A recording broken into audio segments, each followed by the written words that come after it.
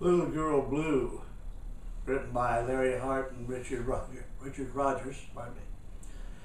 It's from a uh, stage play way back in the wind called Jumbo, and it was also made a movie much later. And uh, a few days ago, I did another one of these from this show, from Jumbo.